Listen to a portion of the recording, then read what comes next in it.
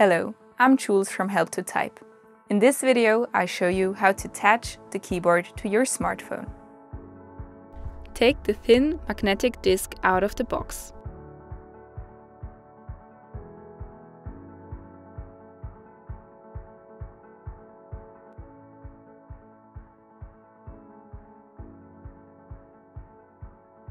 Hold it against the back of the keyboard's plexiglass cover. The correct positioning is determined by the guide rails. Position the keyboard according to your needs with the rubber facing down on the screen. Fold the plexiglass back. Make sure that the watch straps touch the smartphone slightly. The keyboard is already attached to your smartphone.